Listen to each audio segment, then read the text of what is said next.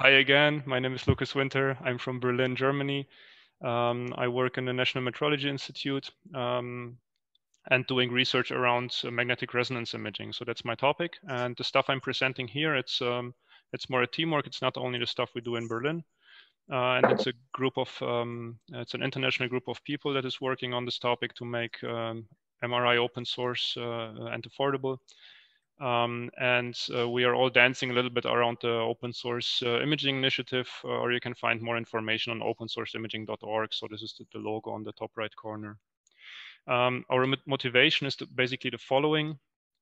Uh, we have a huge gradient in availability of medical devices. So if you talk about um, open source hardware from a different uh, context in the consumer market, or uh, you might say, okay, it would be optional to have um, such a device. But in a healthcare system, it it's it shouldn't be like that. Um, and to give an example here, so in, in Berlin, um, we have um, some 125 MRIs. If you go just within Europe to Spain, um, it reduces to 26 um, for roughly the same uh, population. And um, if you go uh, uh, to Senegal, you have two MRIs uh, for many more people. Uh, so it basically determines if you get a good diagnosis um, uh, or how long you have to wait for an MRI. So if you get your diagnosis on time. Um, and um, this is um, a problem um, not only because the technology is complex and costly, uh, but it's also a problem of, of the markets. So innovations are not enough. Uh, and that's why we started to, to builds an, uh, around this open source uh, um, concept. And this open source concept has so many interesting possibilities, in particular for, for uh, medical technology, uh, where you can talk about uh, quality of, of the devices, but also of harmonization of different standards that are completely different worldwide. And in, in regions, uh, in some regions, you don't have standards at all. So you can basically um, produce and sell anything you want um, but also education and so on. So you can um, local um, locally um, keep the people to produce devices uh, uh, to sell them, create economies, and so on and so on. And um, I, I, don't have time to talk about all of that, uh, and I will speak about uh, the building stuff. Uh, this is, I think, more uh, more hands-on in this in this case. So I brought a lot of things with me here, and um, so this is um, what you can see on this image here is components that you need to, to make an MRI. Yeah, and I will go through through each component roughly and show you some examples. So um, first of all, you need a magnet. Yeah, so this is a part of a magnet, it's not a complete magnet, but it's uh, it's quite magnetic. So um, yeah, if I take a knife, it sticks to it. Okay, and this consists of this little magnets here. Okay, and they are in these pockets in a, in a configuration that uh, creates a magnetic field uh, uh, inside, while on the outside it's re relatively moderate. Yeah, um, and this can be small, so you can fit the hand. So this is some desktop thing that we work on, but we also have a little bit bigger ones. So here you can see the a little bit different magnets, and this would be then obviously for the head. Yeah, and again, you have to believe me that there is a magnetic field in there. Yeah. Um, but this is how it looks like.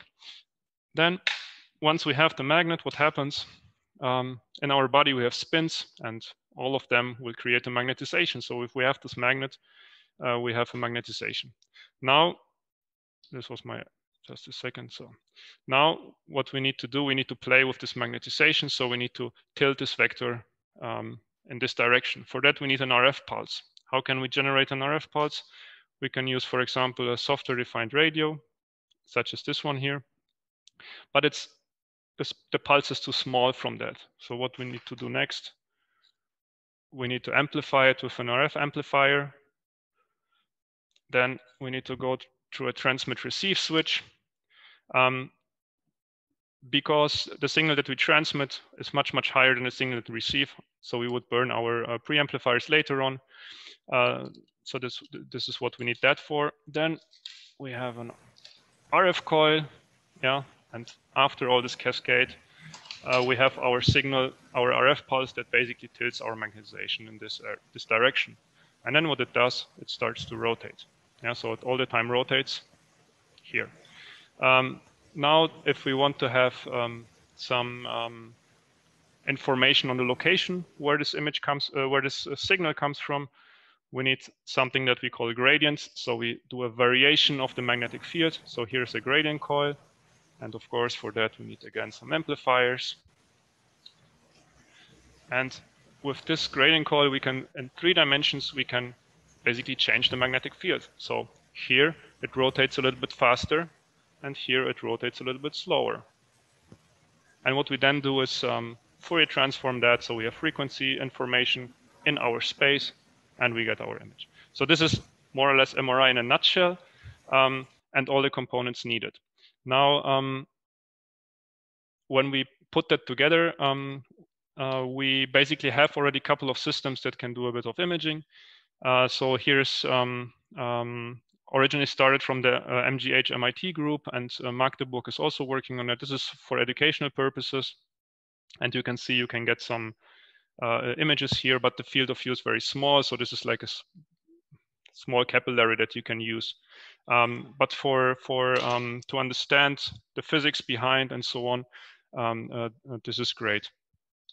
Uh, what we do in Berlin is a slightly bigger magnet, um, and um, that you maybe can put in the hand and so on, but it's still hopefully relatively um, uh, moderate uh, in, in costs that we can apply it in this educational context uh, and maybe get even some some um, clinically relevant applications at some point. I mean, this, we're not talking about medical devices here that are certified, but we want to get there. And also, at the moment, it's still this uh, prototype development, let's say.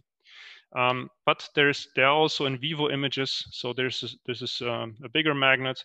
This is um, in in the Netherlands, and uh, here you can see that there's an, a knee image already acquired, and they also did already had imaging. Uh, so this is quite nice.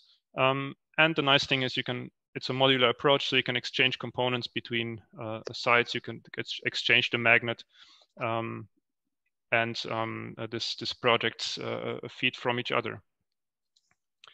Um, so um, we're getting there to get this, um, let's say, system uh, um, running. The next step would be to to have a couple of sites that rebuild it, uh, investigate it, and then check with uh, radiologists uh, what are the clinical applications. So for example, this system will be uh, um, implemented in Uganda and um, will also undergo certification um, that we have uh, a, a, tool to show that this is also something useful in the clinic and not only for the lab environment.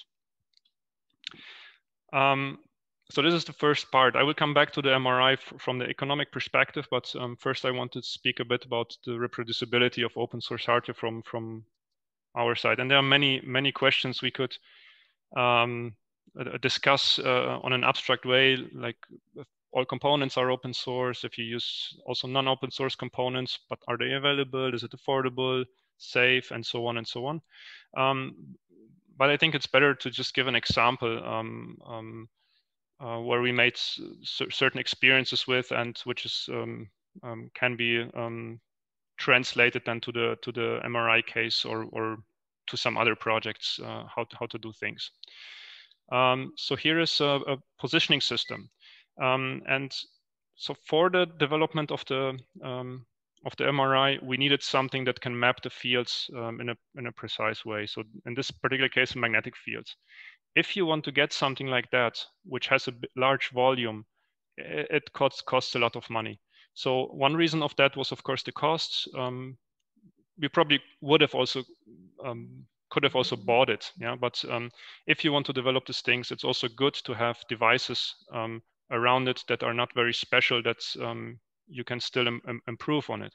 So we decided, okay, let's let's just build it. And um, another reason for that is because we have these three components. We have electronics, we have software, we have mechanical components. It's still a rather large device, so we have to think maybe of some safety um, um, issues and so on. So we can test also a little bit this um, um open sourcing of, of uh, things. Um, so when we go through that, one thing that is important is, of course, from the documentation side, documentation uh, can just show the final picture and then say, okay, just do it. Um, um, you can go through that if you have enough support. It's it, it's okay, but um, we we in this case we try to to really make it um, IKEA style uh, um, setup. Yeah, that's each uh, step. Um, you have a photograph, uh, which components you need, and and how does it look like um, before and after assembly, uh, until you get this um, mechanical part uh, set up. Then also interesting in the process. Um, so we started around 2016 with this project. Um, back then, FreeCAD, uh, I don't know who uses FreeCAD, but um, it was a little bit more um, um, uh, in the in the beginnings, so it was difficult to work with, let's say. So we used a, a, a SketchUp uh, make, which is uh, free but not open source, and you can use it. But yeah, um, in the meantime, uh, FreeCAD developed quite nicely. So we also switched um, um, all the drawings uh, to FreeCAD, and which at the moment um, um it's still not uh, uh, com not competitive to to commercial products, but it's nice to see that the huge development that has been done um, uh, and how more and more useful the open source tools get. So also, if you can um, and it does not take too much time because to um, use the open source tools uh, on, on your development because in the long run uh, this will save you a lot of time because anyway you will need to switch at some point.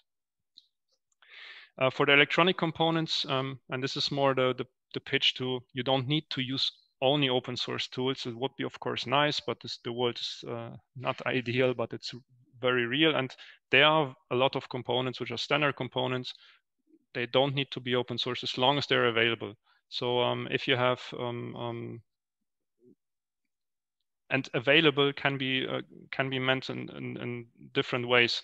I mean, um, for us probably um, um, we have several options how to get these components, but we we know from our collaboration partners in in, in Uganda, for example, that it's not that easy to get some of these things which we consider um, very easy to to to to to get. So depends what what's your target, where you're developing it for, and and um, and always good to check if there are alternatives. So it's not only one source, but there are several sources. And this is the example which we had with the electronics. So in this particular case, we used the BeagleBone Black. This is open source, but it's working with a CAPE board um, that is not open source. The, the um, software was open source, but not the PCB board and so on. Um, the problem in this case was that the developer unfortunately passed away. Um, so um, even though maybe at some point um, it could have become open source, but in this in this moment, all the information was lost. So for us, we had already a running system. We had a couple of uh, extra boards. Why should we redo it? Um, it's a little bit of a um, pain that you have then in this moment. So if possible, um, um, in the long run, I, I, I think it's really good uh, um, uh, to have as many um, open source or alternatives um, for non-open source components um, available for the project yeah, then um, um, nice thing about open source is uh, uh, custom uh, how, how to customize things. So so um, here's um, a casing we did. We, we just made it transparent that it's more this open source idea to look into it.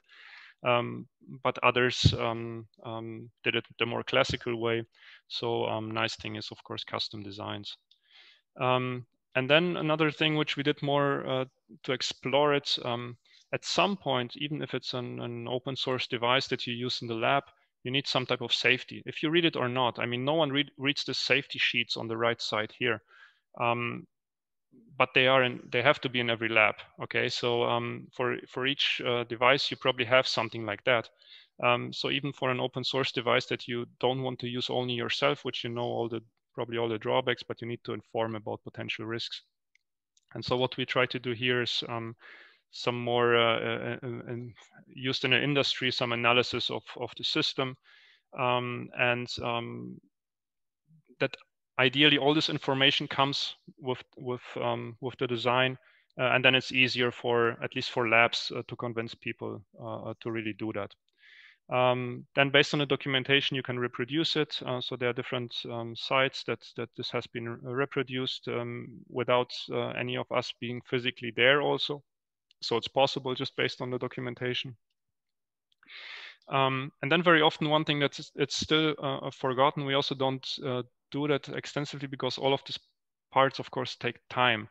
Um, but it's it's a testing. No, it, software you can you can easily test uh, for hardware. Um, uh, it would be good also to have certain test protocols and and um, how can I guarantee that what I rebuild is also what the um, um, um, what the, what the original performance was in the device. Yeah, so um, it would be good to implement some some uh, testing protocols. And uh, this whole system is around uh, 2,000 euro in material costs. And here are some of these tests that we did to, to just show the, the precision precision of it. Um, okay, so I hope I could um, answer some of um, these questions with this um, um, these examples. It really depends what you want to do. Um, now let's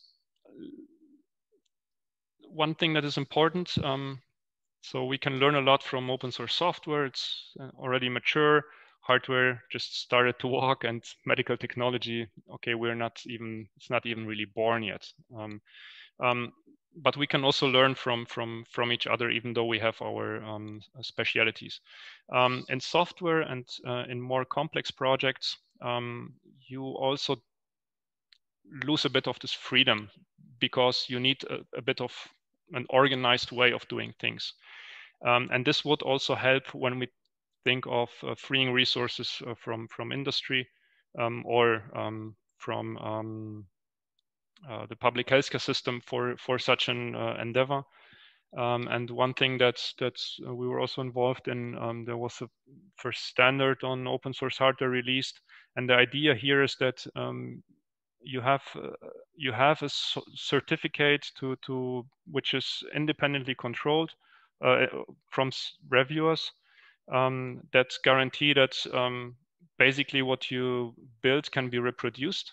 Because if you start uh, engaging in something like that and you you figure out you here you have to buy components, so it's not only um, um the the misery of the failure, but uh, also of, of, of money. So um, engaging in a project and knowing beforehand, okay, this is something that you can reproduce. This will be the first step. Um, this is an ongoing project, by the way. So it's not it's it's, it's just um, just released and it still needs a lot more work, but it, it's it's an interesting direction um, um, it should go.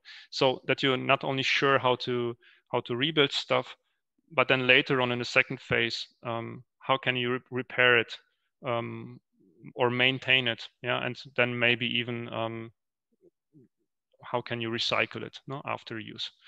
Um, so this is uh, uh, something I, I, also wanted uh, just to point to. Coming to the economic uh, benefits, no, now we have this open source scanner and, and um, let's just think about it uh, or how can we motivate, um, what's, what's our argumentation? I always find it difficult um, to argue for open source hardware um, from from our current um, system and and business model perspective. No, you you you find always the same same arguments, um, um, um, larger community, or I, I, I, don't want to repeat all of them. But um, um, fact is that most companies are are not that keen to engage in this open source way. So, and I can understand the reasons for that but for the public healthcare system, there's a different argumentation. So we have increasing healthcare costs, and this is this is worldwide. Uh, we have on monopolization in many healthcare sectors, not only in MRI, it's in ultrasound, it's in other uh, other areas. So we very often have devices that are there on the market for many many years. Patents ran out. The price didn't change much in this time. It's it's not a it's not a um, um, it's it's not a car where you where you where you have uh, always new features and you can decide uh, um, um, which one uh, uh, you get. I mean, it's, oh, I, I, think you get the point. Um, okay, so as I showed you already, we have this big uh, mismatch. And um, now when we take these developments um, on this permanent based um, uh, open source MRI that um, I showed you earlier, um, and uh, we know roughly how much uh, it would cost to to make it, and we assume um, we're not there yet, but we assume that it's in the same quality because it has comparable properties to an MRI scanner that is on the market. So we know the market price and so on, and then we can replace one system with the other system. And then we can make some calculations um, how much money the, the, the public healthcare system could save if we could just replace this one device with the other device. So it's not assuming that you have all MRI scanners. So this is already um, um, only for the low field market, which of course it could also grow once you have more devices there that, that are cheaper, but it's assuming the current numbers. Uh, um, this was from the German healthcare system. And if you project that, um, if you project that, uh, then you, you can see that you can basically save a lot of money. And the argument is invest some of that now and save it later in the uh, for the healthcare system. Um, and additionally, um, you would you would um, be able to export all this technology to countries where it's needed, where it's needed even more. Um, then you can, of course, be critical of the previous um, argumentation and say, okay, I, the, the, companies are very efficient in, in producing uh, devices. How can we be more efficient in an open source way? Um, um, so assuming that the purchasing price doesn't change, but for medical devices, you have um, you have this iceberg. So you have a lot of other costs that are connected. So you, um, and one cost in particular um, um, is the service cost. So typically it's around 10% of the purchasing price uh, uh, per year. So MRI scanner 1 million, 100,000 euro per year. Um, if I keep the device running for 10 years, I have another million. So if we take this data and just assume for the current uh, MRI systems that the service market would be more transparent, which would mean you would have more competition on this market. So it's again, it's a complex device, and typically you it's you, it's not that you have the choice of uh, between different um, uh, entities. Um, but assuming you would have that, so you could lower the prices. So we assume here as six percent as a as a uh, um, standard six percent purchasing price per year. Um, and if you can lower this just by 1%, it, it's huge cost that you would save. Um, and more probable, um, it will be that you can lower it by, by, um, by a factor of two, so to 3%. Um, because if you have the knowledge, um, you could very oft often do in-house maintenance. So this for bigger uh, hospitals and so on would make sense. or again, you have uh, many more uh, a lot a lot more competition on the market. Um, so even on a service market, you could save a lot of money, invest some of that, make it open source, uh, and then we have it accessible in uh, other places uh, as well. Um, so as we currently do it, um, it's easier to do it in a standard way in terms of funding and other things, but it has a saturation curve, and um, and we observe that with many uh, uh, products. and the open source way is just yeah, we linearly um, continue. And this is this is what happened with um, with uh, open source software, um, Wikipedia, and other uh, uh, projects. Um, so I guess in this round, I don't need to convince uh, anyone uh, of that, but um, just wanted to say it. And that's it. Actually, if you have questions, um, uh, just shoot. Thank you for introducing this uh, project. I didn't know it existed. And I, I also don't understand if you are looking for contributors. We have, I think, enough people working on, on things and we are bringing stuff together. So uh, it's more how the project should continue. So um, we get to the stage that we have the prototype. And now the question is, um, and there are, um, of course, companies interested are getting more and more interested the more results they see. Uh, but we know that um, they will not do it uh, in an open source way, um, or they will use the stuff. Um, but there, for a medical device, there are many more steps. So if we could have uh, the complete cascade um, in an open source way, up to the product, this would be fantastic. And even if the company that is doing that fails, um, because you would have uh, all the knowledge for others to reproduce this approach, and then again, more companies on the market and and lower prices. I discussed the same the, this concept of what comes next with uh, Richard Bowman, who's working on the Open Flexure microscope in mm-hmm. University of Bath. I heard also the same concerns about open hardware technologies that were coming from the CERN uh, that we have in Geneva, yes. mm-hmm. namely something called uh, White Rabbit, which is a nanosecond um, time difference uh, clocks. So yep. these are questions that are oftentimes um, discussed. It's a shame that you cannot find a, a proper use case for that. I think we will we will um, at the moment we, we, we will continue. I, I think we will get there in the in the long run. No, it's um, but I think we could also boost it a little bit more. You said like this is mostly funded by the state. So is your challenge to continue to get funding, or is it another challenge? No, no. So I, I the stuff I showed you at least uh, from from uh, our things. Um, was mostly done with with um, master students and bachelor students. Yeah, so it's um, it, it's it's possible to do it in this way. And then there's, of course, uh, the network of of researchers. Yeah, and that are that are um, that are also all believing in this um, concept. And then it's really easy to, without any money, to get um, uh, expertise and and to move forward. No, it's just now at the stage where this is not enough because in the end you want to have a medical device, so you need to have a certified device, and I cannot do a certification of an MRI device in house. Where can we find online your plan? And there is no um, it's it's it's nowhere written because we we just simply have no time. right. Yeah. So that's something I would oh. uh, I would try to get online at any cost because yeah, then yeah. you can try to to throw people at your problem. Yeah, yeah. And that, I'm sure that plenty of people would be interested. Yeah, yeah. I I, I think um, I I think that's a good idea, and I um I mean we heard that uh, already this critique a couple of times. Um, we are probably still from this um, uh, scientific perspective. No, we are just doing the things, and then we we get the, the papers, uh, mm-hmm. try to get the papers out on this topic and create the visibility and so on. But I think as soon as we have this um, prototypes assembled and so and um, um, that we feel good about distributing, um, um, it would be good to to highlight. Uh, to highlight what's what's next.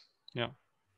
Yeah. I, mm. I would adv- advise to to start building that right now, even if it's not finalized, mm. um, because people out of science have different interests, and yeah. some people might be more interested in the process of hmm. creation mm. than on the actual product. Yeah. Um, and the impact that they can foresee from what you, you've done. Did you consider uh, partnering with companies also? Because some may be interesting to help you to do the certification, on, but keep the open hardware uh, side of the project. We are at the stage at the moment uh, where we are checking different options. What's important is that um, we, we, discussed it before that um, that the company does not only take it and does the product uh, development, and then nothing else comes out of it.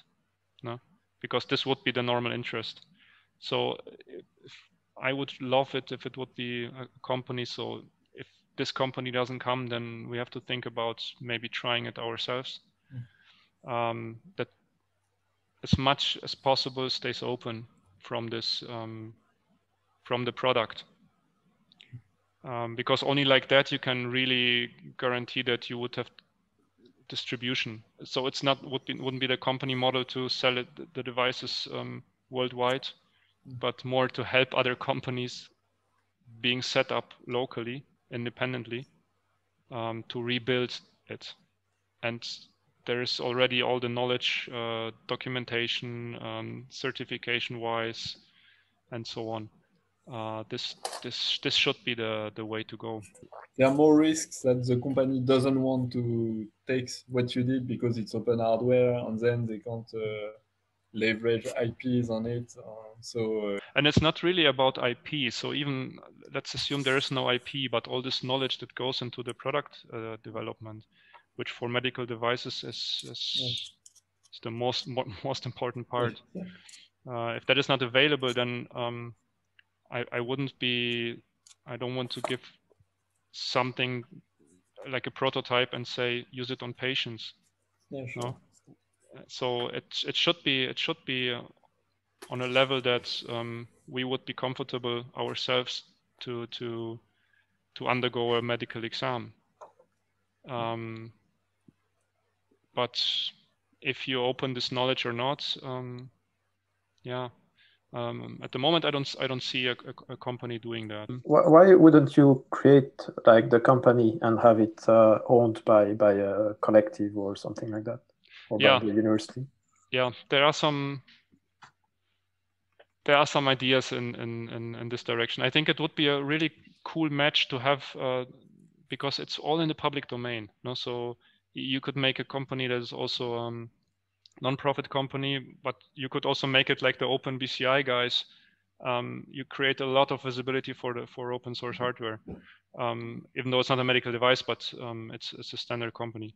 Um, but this relationship, public-private, under open source would be great because it's at the moment you have it already and it's really been done in a gray zone no people um, using infrastructure from uh, no um, creating company but then using still infrastructure from uh, public institutions and so on but this is um, more um, uh, you you finance your own pockets but if you do it from an open source hardware product or even medical device um, you can um, have a very easy open exchange, in my opinion, um, between this this public entity and between the, the, the private sector. So it would be quite interesting to to try um, having something like that. Yeah, I don't care um, um, making money with that. It's really about the impact um, um, and how we can get these devices as medical devices uh, to people and